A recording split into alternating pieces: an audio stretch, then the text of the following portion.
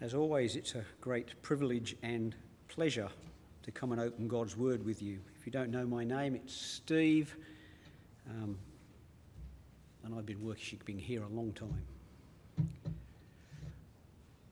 What is the chief end of man? Or using politically correct language, what is the main purpose of humankind? Doesn't have the same ring to it, does it? It's a question from the Westminster Shorter Catechism, published in 1647. For those interested in Protestant history, it's the document of questions and answers written to bring closer conformity between the Church of England and the Church of Scotland. It became a teaching tool for children and new Christians in church doctrine. Question What is the chief end of man? Answer The chief end of man is to glorify God and enjoy Him forever. To glorify God and to enjoy Him forever. I can't think of a better thought with which to start each new day. What's on the agenda today, dear?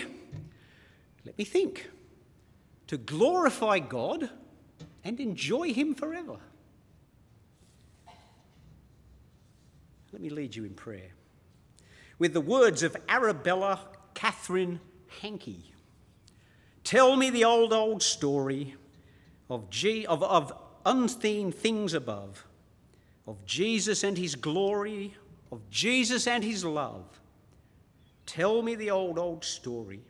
Tell me the old, old story Tell me the old, old story of Jesus and his love. I like good, attention grabbing openings, especially literary ones.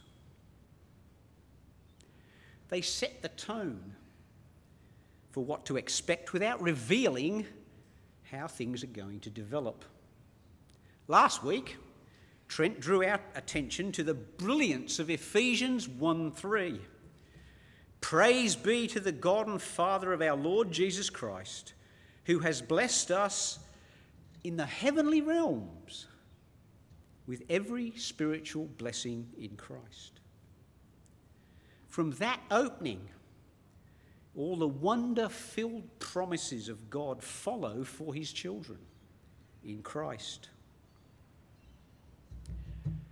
When Jane Austen writes, It is a truth universally acknowledged that a single man in possession of a good fortune must be in want of a wife.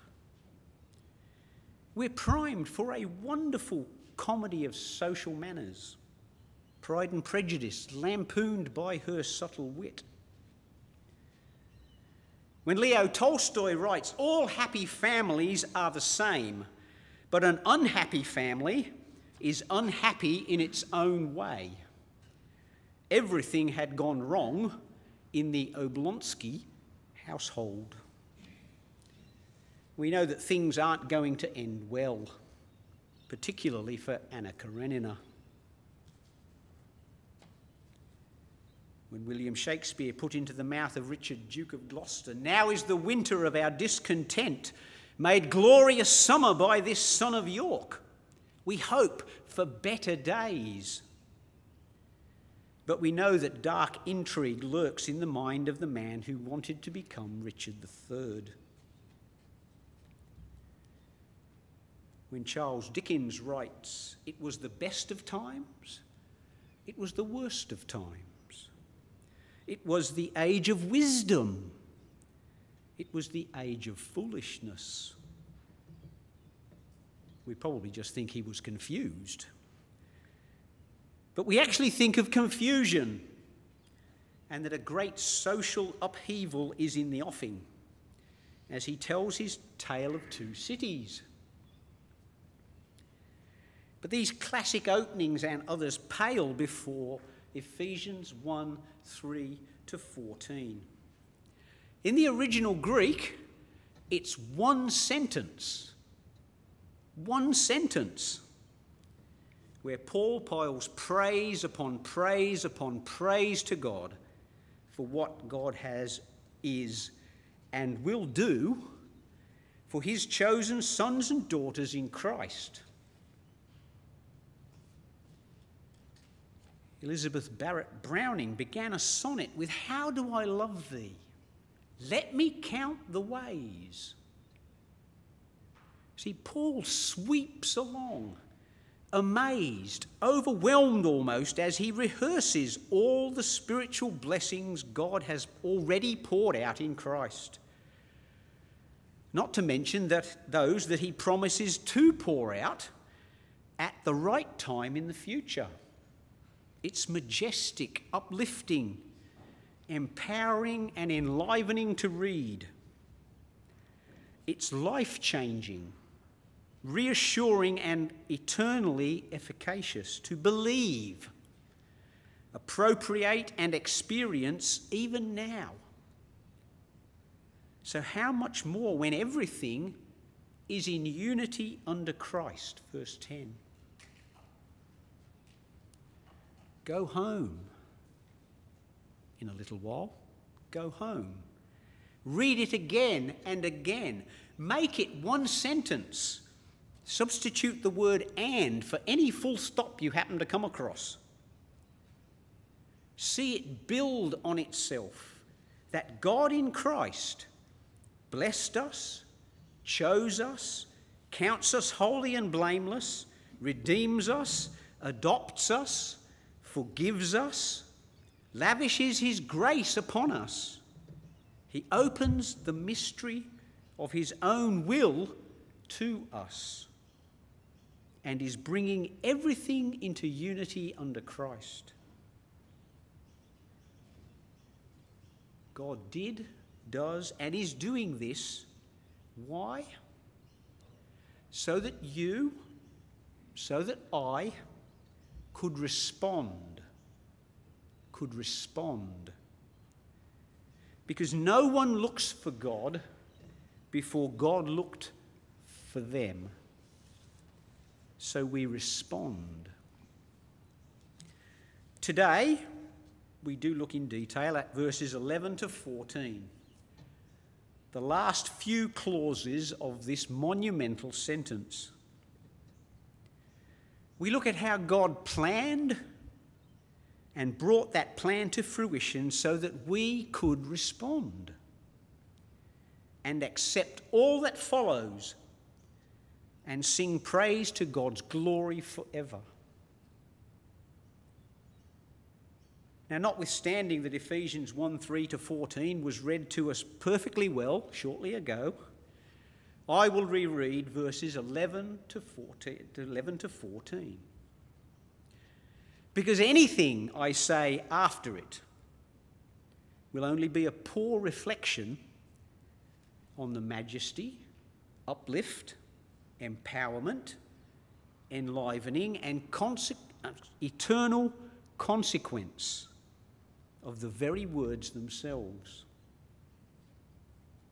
So, beginning with a conjunction. And in him we were chosen, having been predestined according to the plan of him who works out everything in conformity with the purpose of his will, in order that we, who were the first to put our hope in Christ, might be for the praise of his glory.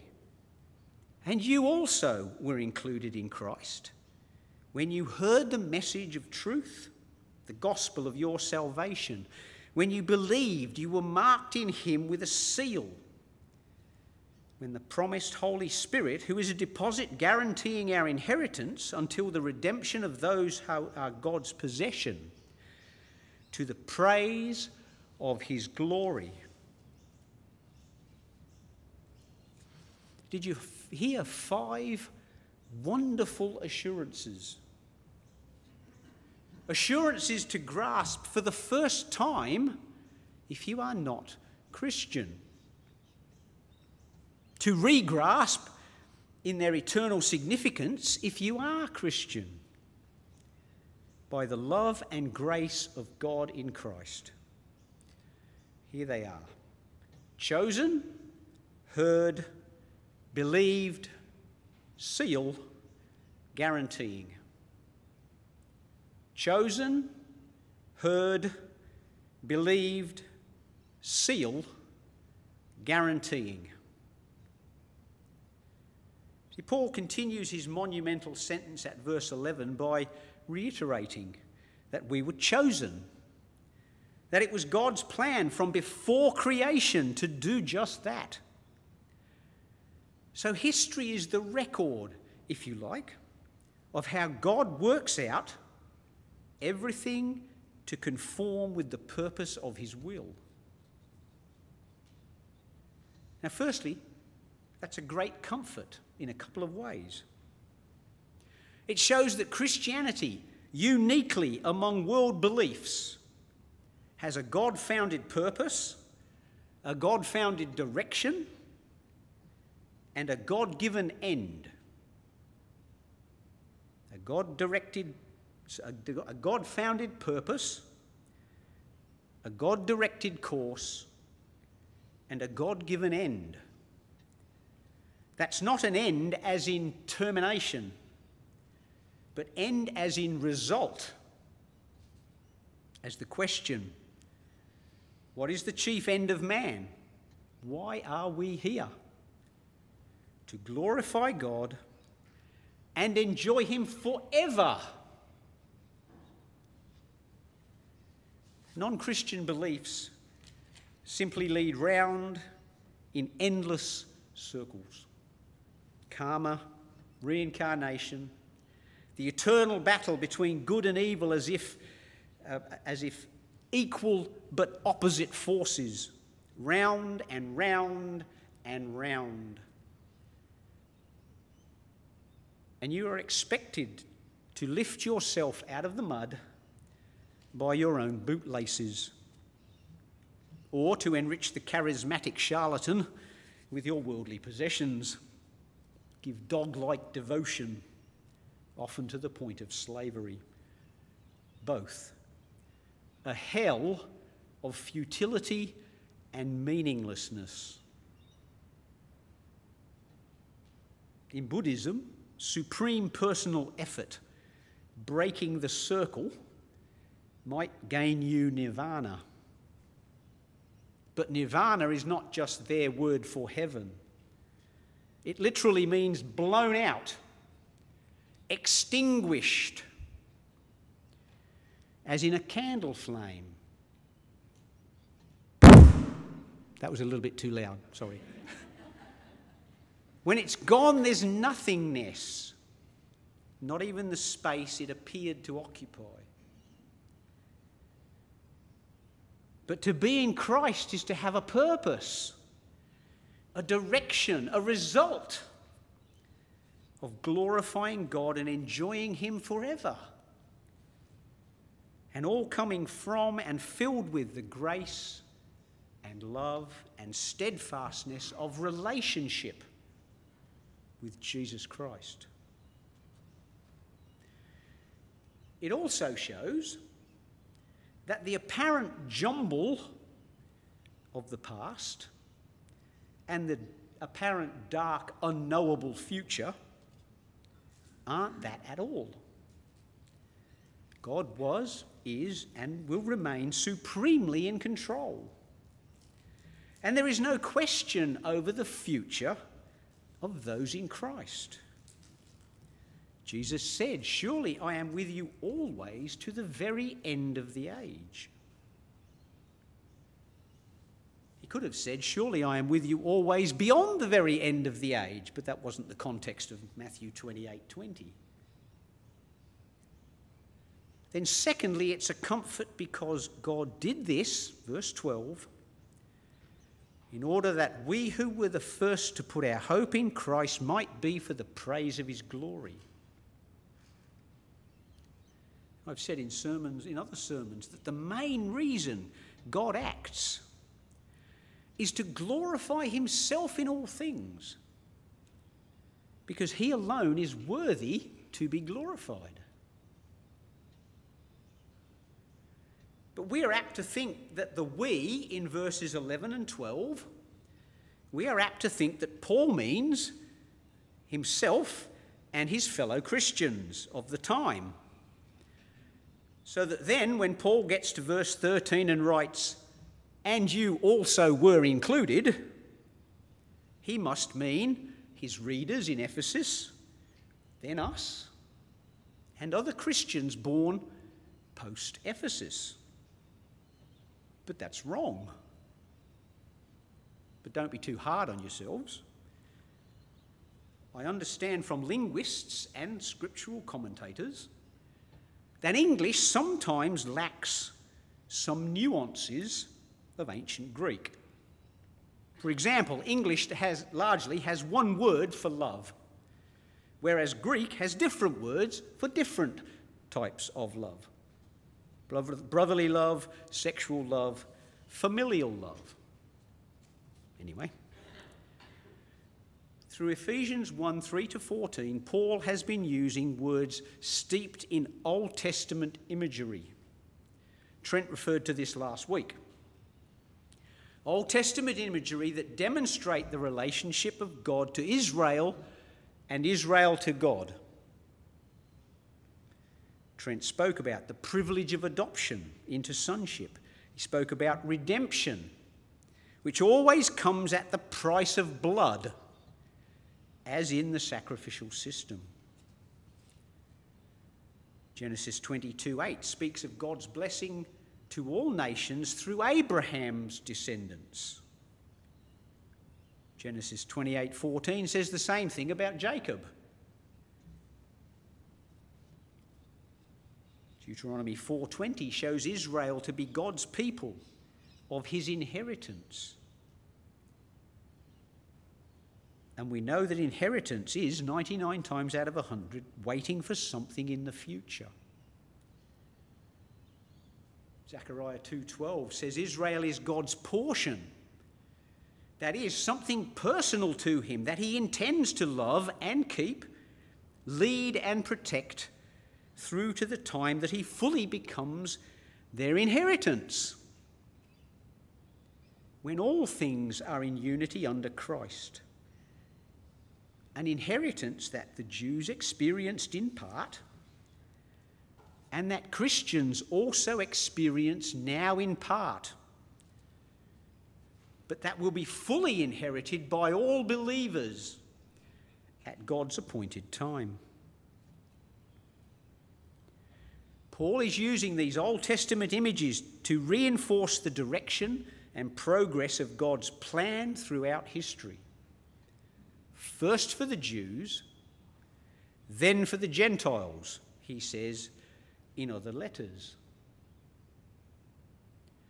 So here, in Ephesians, he is saying that because Jews first put their hope in the Christ, the promised Messiah, because they knew about and hoped for the coming of the suffering servant, read Isaiah. They understood that redemption, forgiveness, and salvation is sourced from and is the gift of God alone. And God is to be praised for it.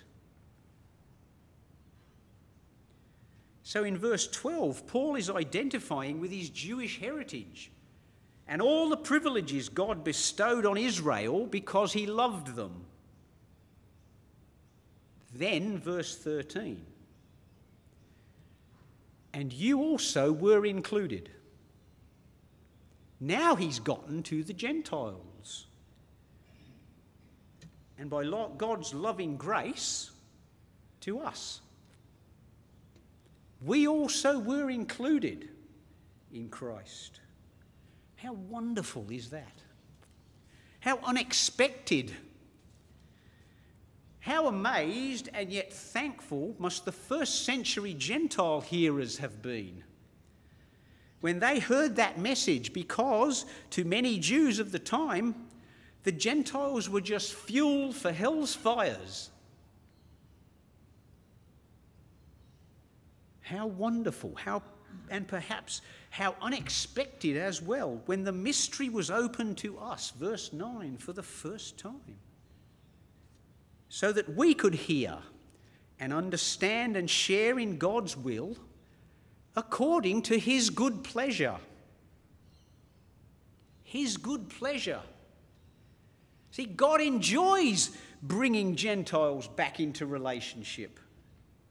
He enjoys showing the Jews that their belief, their faith, their life had a purpose, a direction, a result.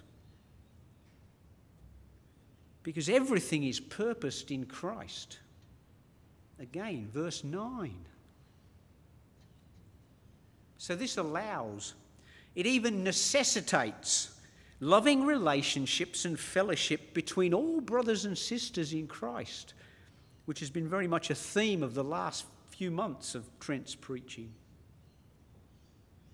And it's ongoing for now because God's times, verse 10, have yet to reach their fulfillment. Yet another reason for praise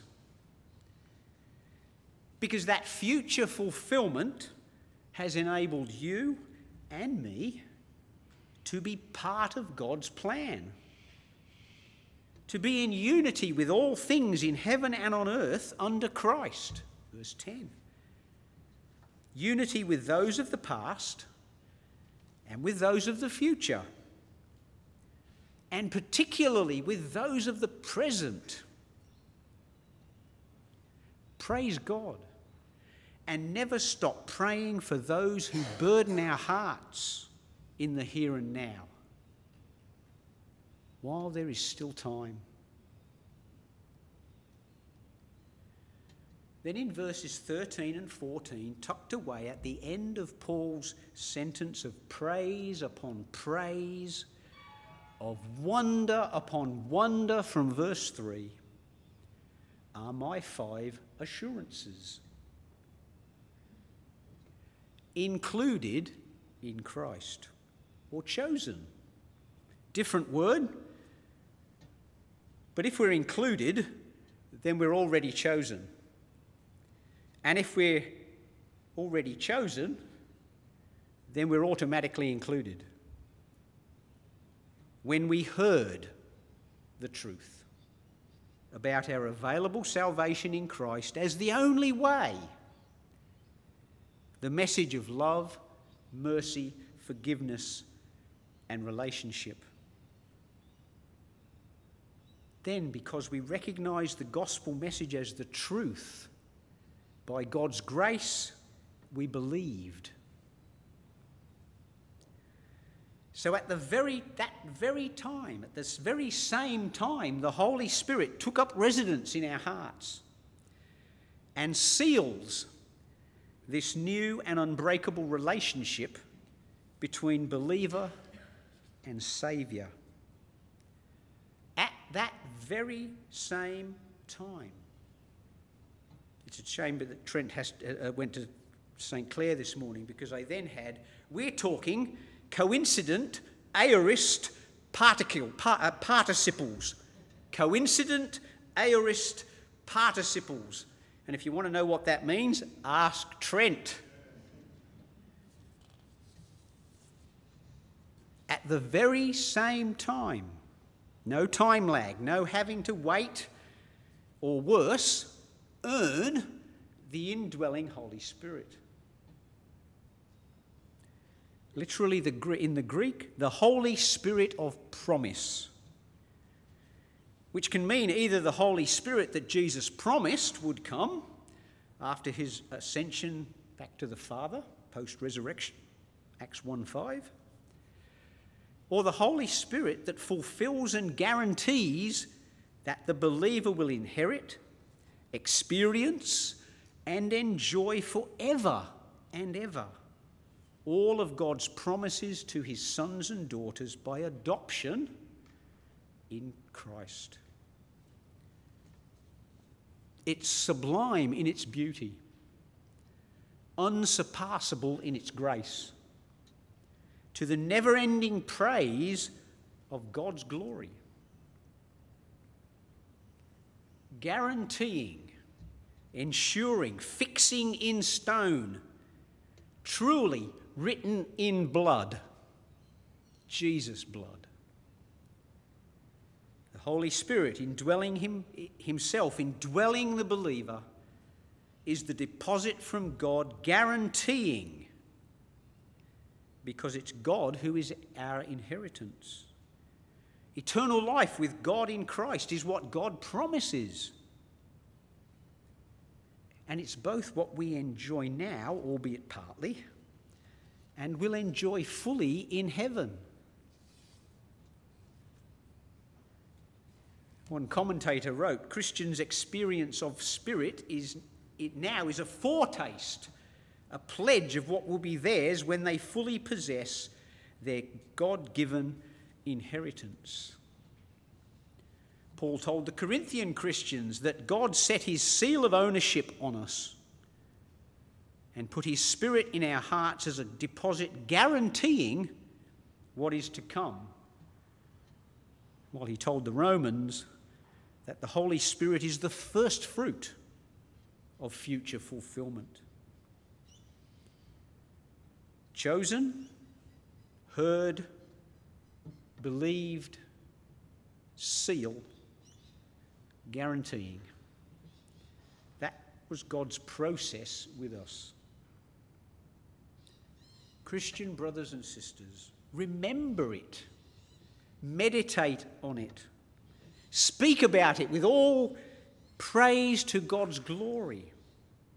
In fact, Ephesians 1 3 to 14 is worth memorizing. After all, it's only one sentence. I haven't memorized it, but I have memorized Psalm 23, which covers the same wonderful thoughts, albeit from an Old Testament perspective. Remember, Paul said, We Jews who were first to put our hope in the Christ. So David wrote, Surely God's goodness and mercy will follow me all the days of my life, and I will dwell in the house of the Lord forever. So if you don't want to memorize Ephesians 1 3 to 14, at least memorize chosen, heard, believed, sealed, guaranteed, and Psalm 23. Chosen, included. Stand in awe of God's power and mercy in knowing us by name and choosing us before the creation of the world. Heard. Thank God for his mercy in calling and sending others in Christ to deliver the gospel message to us. Believed. Praise God for his free gift of faith that in Christ we stand cleansed and are counted blameless before the throne of God's mercy. Sealed. Yes, I've changed the tense. Sealed. Be assured that by the indwelling Spirit we have an unbreakable relationship with God in Christ. Guaranteed. Surely God's goodness and mercy will follow me all the days of my life, and I will dwell in the house of the Lord forever. Amen.